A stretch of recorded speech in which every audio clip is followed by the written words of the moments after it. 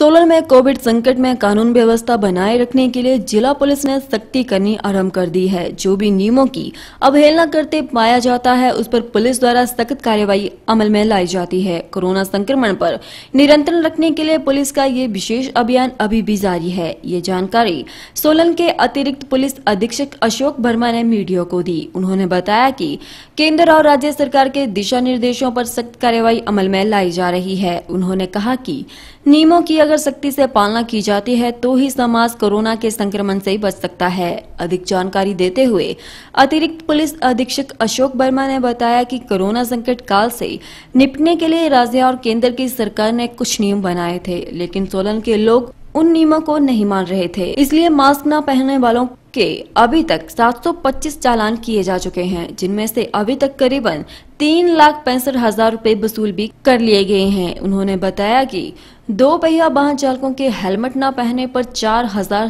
तीन सौ तैतीस चालान किए जा चुके हैं और सीट बेल्ट न लगाने वालों के दस हज़ार छह सौ चालान किए गए हैं। उन्होंने बताया कि उनका ये अभियान भविष्य में भी जारी रहने वाला है। नियमों को तोड़ने वालों को किसी भी सूरत में बख्शा नहीं जाएगा। आ, लोगों को पहले जागरूक किया गया था कि मास्क का प्रयोग करें। तो कुछ एक बहुत लोग ऐसे थे जिन्होंने मास्क का प्रयोग लॉकडाउन के स्पीड में नहीं किया है। तो इस प्रकार के जो लोग हैं, उनके हमने 725 चालान काटे हैं और हमने तीन लाख चौंसठ हज़ार पाँच सौ रुपये फाइन भी इम्पोज किया है।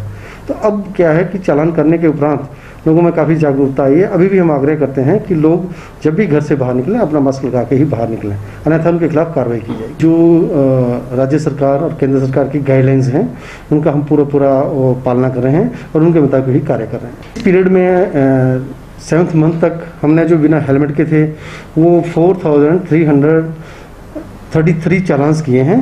और वैसे ही हमने जो लोगों ने सीट बेल्ट की, जो उल्लंघना की है, उसके बारे में दस हज़ार छः सौ बत्तीस चालान किए हैं। और अभी भी जो लोग इनकी हेलमेट की या सीट बेल्ट की उल्लंघना कर रहे हैं, हम रेगुलरली पूरे डिस्ट्रिक्ट में उनके खिलाफ कार्रवाई कर रहे हैं, चालान कर रहे हैं।